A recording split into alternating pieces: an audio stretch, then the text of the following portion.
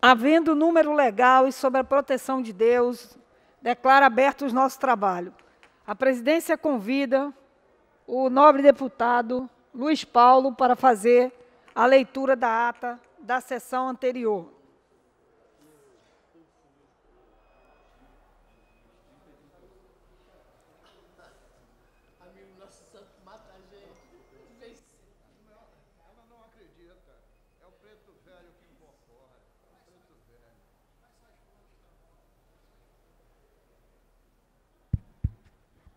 Senhora presidente, deputada Tia Ju, a ata reflete com exatidão o ocorrido na centésima sexagésima sétima sessão extraordinária, que iniciada às 16 horas e 8 minutos, encerrou-se às 16 horas e 35 minutos. Lida e aprovada a atas, passa-se ao expediente inicial. Primeiro orador escrito é o nobre deputado Carlos Macedo, Vossa Excelência dispõe de 10 minutos no tempo regimental.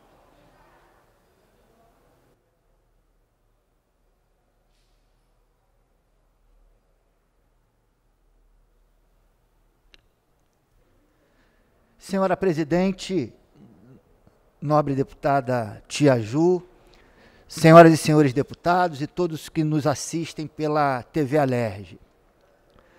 Venho hoje, senhora presidente, senhoras e senhores, a esta tribuna para tratar de um mal, de um crime que tenha cometido é, aos cidadãos e cidadãs do estado do Rio de Janeiro, com maior incidência, pelo que me parece, ou mais afetados, os cidadãos da capital e da região metropolitana, que diz respeito ao furto, ao roubo de cabos de energia elétrica, cabos de telefonia, cabos de TV a cabo. Hoje, nobre presidente, deputada Tia Ju, ouvindo uma excelente entrevista na rádio CBN Rio, é, eu acompanhei a entrevista do é, diretor de operações da Supervia, Marcelo Feitosa. E só não foi uma entrevista excelente, porque excelente é quando é, se traz o resultado, a solução, para que, sobretudo, os usuários desse transporte de massa importantíssimo, através da malha ferroviária, que é o trem, quando a população tem um serviço adequado, digno que lhe é entregue, que lhe traga, enfim, uma satisfação. E o que foi colocado dentro dos questionamentos que foram feitos a ele sobre o roubos de cabo de energia elétrica, é, segundo o senhor Marcelo Feitosa, como já falamos, diretor de operações da Supervia, ele já tem mapeado os pontos mais críticos onde esses furtos de cabo, e justamente são os cabos é, da sinalização dos trens, que diz que uma composição deve seguir ou parar, enfim, para que não haja colisões, não haja acidentes e não ponha em segurança é, os usuários do trem à população de um modo em geral. Então ele disse que os pontos mais críticos, onde tem ocorrido esses furtos de cabo, é Nova Iguaçu, Queimados e, salvo engano, Nilópolis. São os aspectos mais críticos que ele mapeou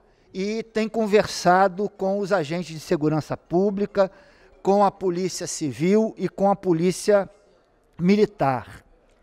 É, e ele falou uma coisa interessante, que eles têm também um perfil dos criminosos que furtam esses cabos. Segundo eles, alguns são usuários de drogas. E outros criminosos são mais organizados, inclusive que dispõem de armamentos, inclusive que já agiram é, atirando contra os veículos de de fiscalização de profissionais da supervia que tem tentado é, conter esses roubos. Enfim, de uma forma ou de outra, é, quem está sofrendo com isso é a população, volto a dizer, deste importante transporte de massa que é o trem. Por final, chegou-se à conclusão, isso é público e notório, que esse problema é um problema de segurança pública. Ou seja, é um problema de que a segurança pública do Estado, a Secretaria de Transportes do Estado do Rio de Janeiro, possa é, mitigar ou dar suportes para que essas ocorrências de furtos de cabos da supervia, que tem atrapalhado muito é, a vida da população, os usuários de trem, que o diga a deputada Lucinha, que constantemente faz uso desse tipo de transporte, que poderia e pode ser mais eficaz. Então eu venho aqui chamar a atenção do Poder Executivo, porque nós precisamos esvaziar a justificativa da supervia quando diz que se os, o, o, trabalho ou se é, o serviço de dignidade, de excelência, não tem sido entregue porque ele supervia, não tem o poder de polícia e que o caso é de segurança pública, então, senhor governador, senhor secretário, senhores secretário de Polícia Civil, senhor secretário da Polícia Militar, senhor secretário dos Transportes, de Transportes do Estado do Rio de Janeiro, vamos nos debruçar, e eu sei que os senhores estão comprometidos com a solução desses problemas, para que a segurança solicitada ou indicada como o maior problema, a Supervia pelo menos colocou isso, pelo que deu a entender, de que se não há segurança pública, não tem como se prestar o serviço com excelência, com dignidade, e quando eles vão fazer lá a aferição das entregas do serviço, segundo ele, hoje está tudo no vermelho. Ele reconheceu que o serviço não é o que gostariam, mas diz que a Supervia está se esforçando muito. Foi essa a colocação é, do diretor. Mas é muito importante, senhor governador Cláudio Castro, é muito importante, senhor secretário de Transportes, é muito importante, senhor secretário da Polícia Civil, é muito importante, senhor secretário da Polícia Militar, que é, as, as decisões, ou melhor, a atuação seja dada a fim de, de garantir, perdão, a fim de garantir de que não haja mais o furto. É esse o problema da supervia? É por isso que os trens, os trens atrasam? É por isso que as pessoas sofrem? Aliás, aliás, a gente tem que dividir um pouco de responsabilidade, Tia Ju, que uma das colocações que ele fez é, um dos ouvintes fez uma pergunta muito interessante. Dizia que o porquê que os trens são sucateados. Segundo o diretor de operações, a frota da Supervia, segundo ele, é a mais nova do Brasil. Só que as composições mais novas, quando estão lá é, abrigadas, paradas para começar o serviço no outro dia, as pessoas vão lá, os criminosos roubam cabeamento dessas composições e peças. Aí eles são obrigados, segundo, segundo o diretor de operações da Supervia, Marcelo Feitosa, são obrigados a co colocar composição antiga, composição que não traz conforto, dignidade para o usuário, sem ar-condicionado em muitas das vezes. Então, se o problema é segurança pública, deputada Tia Ju, senhor governador Cláudio Castro, um homem sério, hiper mega comprometido com o bom funcionamento dos serviços de prerrogativa e de obrigação do Poder Executivo Estadual entregar às pessoas vamos atuar na área da segurança pública para que a Supervia não tenha como, de qualquer maneira, dar desculpas, e aí nós vamos ver se realmente o problema é só de segurança pública ou se é um problema de gestão, de incompetência da Supervia. Temos que esvaziar esse tipo de argumentação. Encerro aqui, querida tia Ju, dizendo que hoje nós teremos em pauta é, um importante projeto é, dos deputados, da deputada Marta Rocha, do deputado Carlos Mink, que diz respeito a se criar uma delegacia específica que possa estar investigando é, essa questão do roubo de cabos, não apenas na linha férrea, mas cabos de energia elétrica de um modo em geral, cobres e cabos de telefonia, de TV a cabo.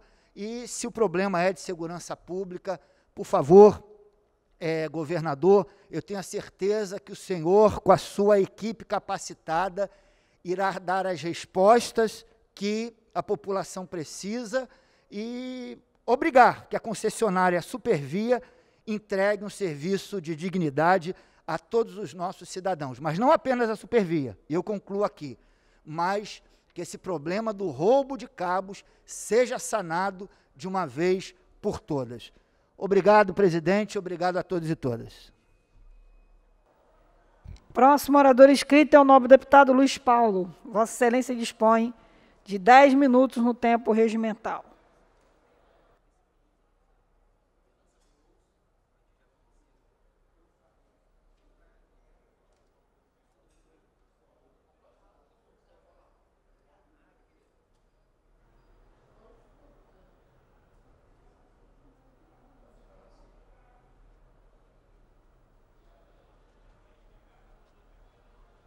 Mudar um pouquinho, né?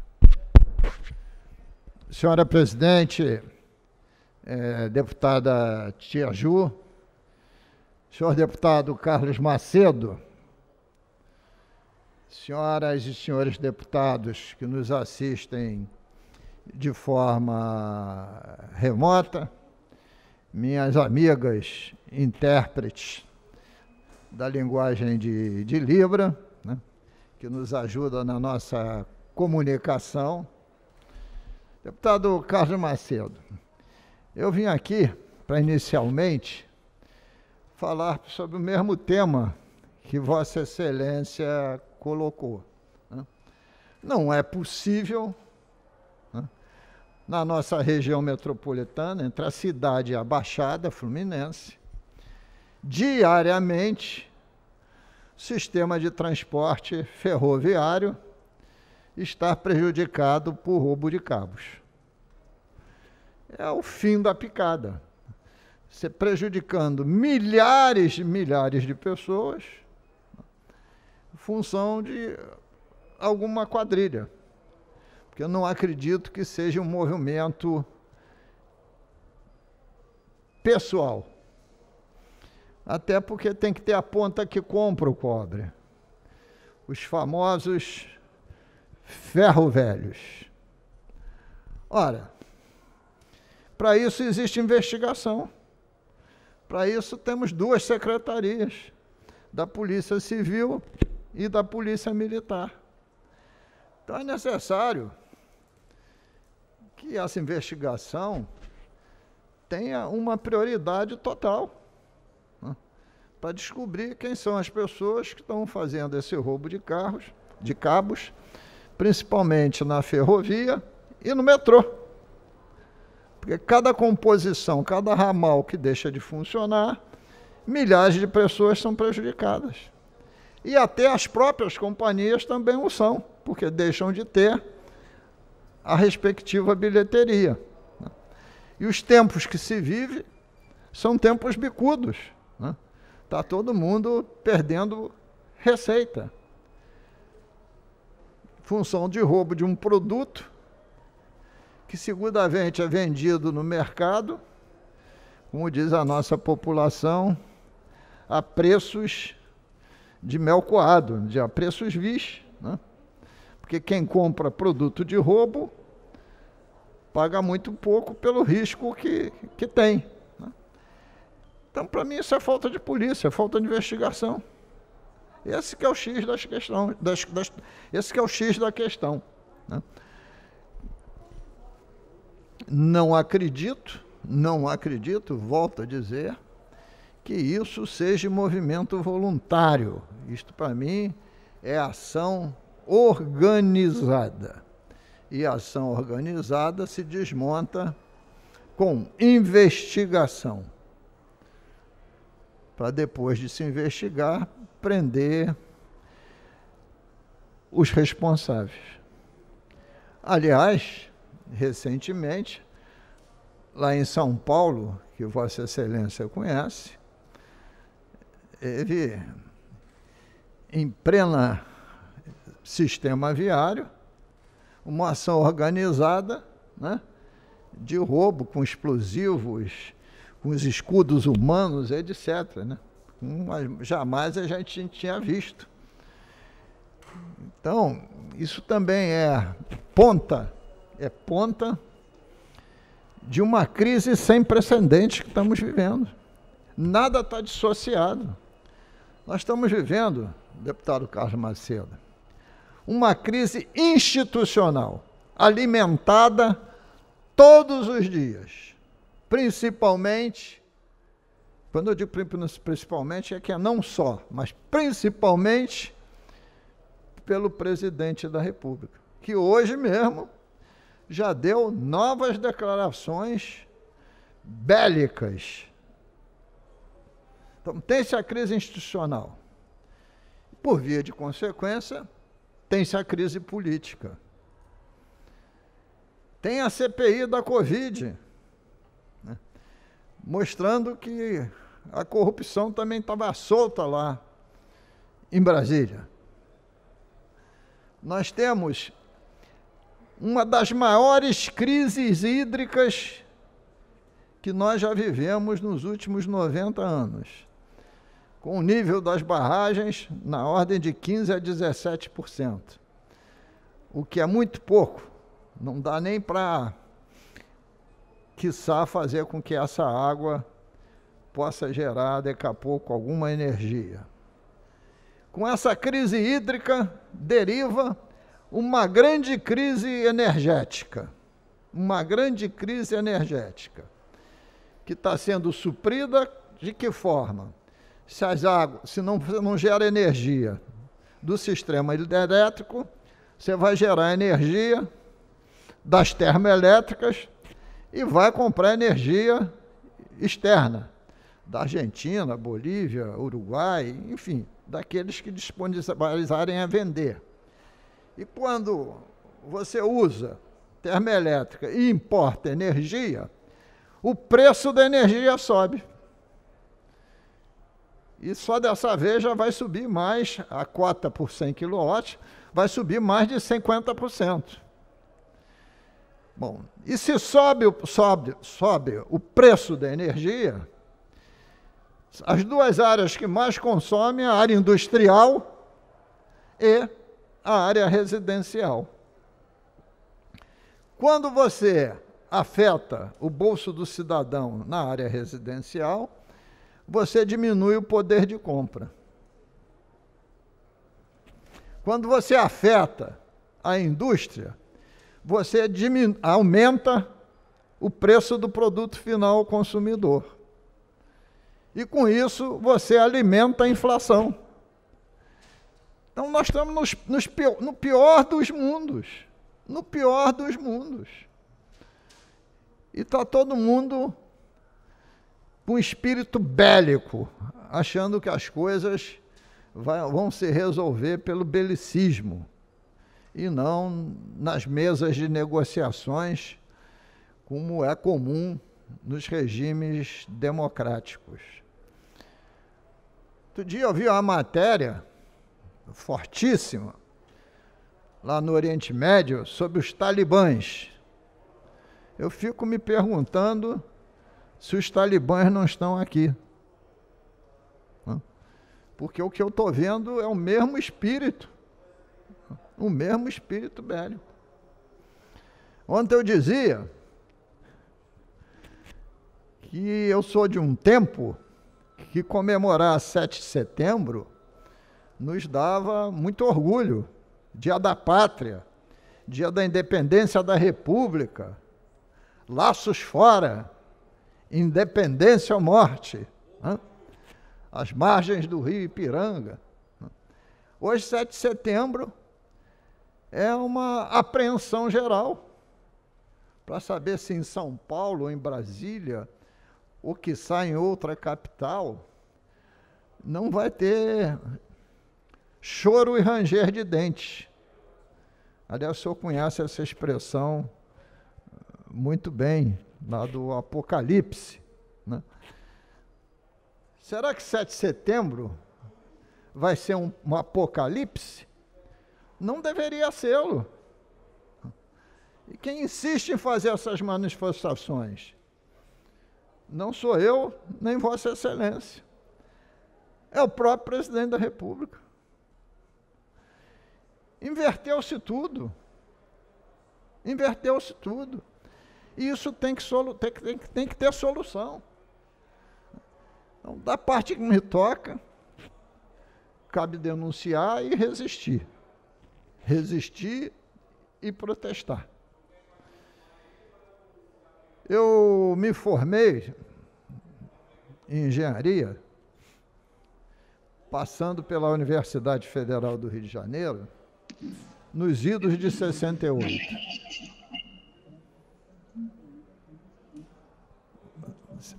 Ô, deputada Tia Ju, será que isso é a repressão? Está parecendo. Por favor, pessoal do som, está tendo interferência aqui. É alguém que abriu o microfone.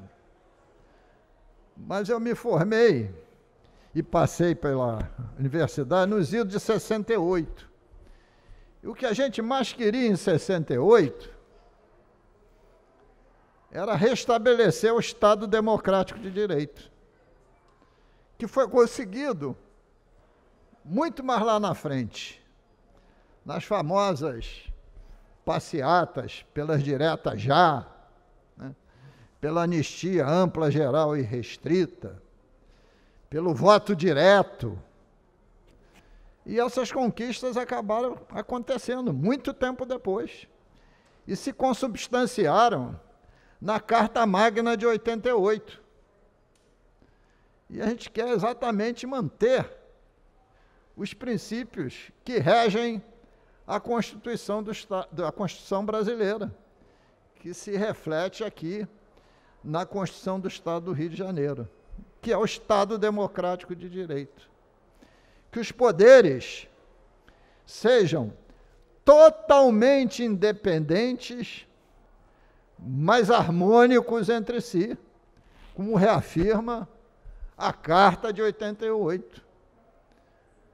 Não queremos supremacia de nenhum poder sobre o outro, porque não é essa a decisão, não é isso que leciona a Constituição Federal. Então, tem, tem insistido nesse tema, porque hoje é primeiro de setembro. Né? Primeiro de setembro. E eu dizia no dia de ontem, o mês de setembro era mês de comemorações, né? pelo 7 de setembro, pelo 27 de setembro, né? datas importantes. Aqueles que mais, mais românticos, até como eu, gostavam até de comemorar 23 de setembro, equinócio da primavera estação do ano importantíssima, que prenuncia, encaminha a chegada do verão e a estação das chuvas, né? porque eu falei aqui da grande crise hídrica. Então, com essa perspectiva, que a gente vai trabalhar ao longo dessa semana, para que se amenize os ânimos para o 7 de setembro. Que se entenda que, de fato, a gente é que está pensando na nossa nação, que a gente devia estar somente pensando no bem-estar social, na distribuição de renda, em retirar as pessoas da miséria e da fome, e não única e exclusivamente pensando em projetos de poder, mas que infelizmente até as eleições presidenciais que seriam em 2022 foram antecipadas para os tempos presentes, muito antes da hora. Por isso, senhora presidente, dentro dos dez minutos regulamentares, que eu comecei a ultrapassar, já estou no décimo primeiro, eu vou encerrar aqui a minha fala, mas voltarei no expediente final para continuar a aprofundar esse tema. Muito obrigado, senhora presidente. Não havendo mais oradores inscritos, a presidência suspende a sessão até às 15 horas, quando retornaremos com a ordem do dia.